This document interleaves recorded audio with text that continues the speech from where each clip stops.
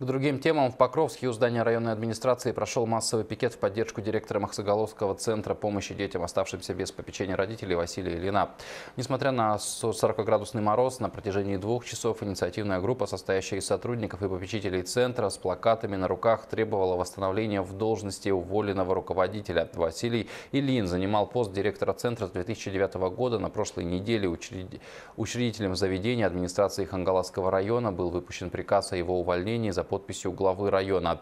Официальным обоснованием отстранения от должности стал ненадлежащий присмотр за двумя воспитанниками центра, что привело к их самовольному уходу. За свое время работы он поднял Максоголовский центр, Максоголовский детский дом на высокий уровень не только по республике, ну, мы, мы так считаем. Много детей у нас устроены в семьи. У нас очень хорошие показатели э, того, что как выпускники поступают в учебные заведения. Э, незаконное увольнение. Все нарушения Трудового кодекса.